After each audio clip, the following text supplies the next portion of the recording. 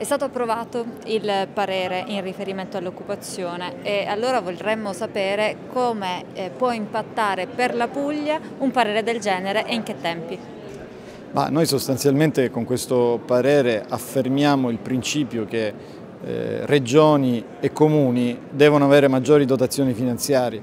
Le regioni come la Puglia e i comuni come le città della Puglia ormai gestiscono direttamente eh, la politica sociale, i temi dell'inclusione sociale e anche il mercato del lavoro con eh, alcune competenze nelle province e il resto appunto tra regioni e comuni. Indubbiamente vanno rivisti eh, gli strumenti finanziari in, eh, in adozione che sono eh, il Fondo Sociale Europeo per esempio eh, ma vanno adottati anche eh, alle esigenze degli enti locali e regionali i nuovi strumenti finanziari di cui l'Europa si sta dotando nella strategia 2020.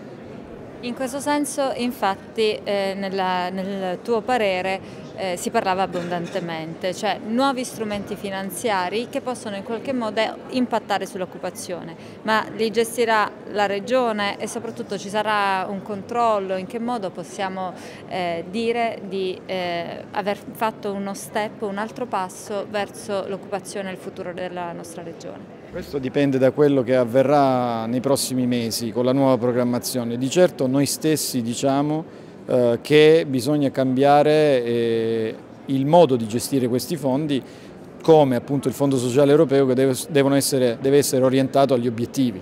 Cioè guardiamo bene gli obiettivi, non guardiamo solo le premesse.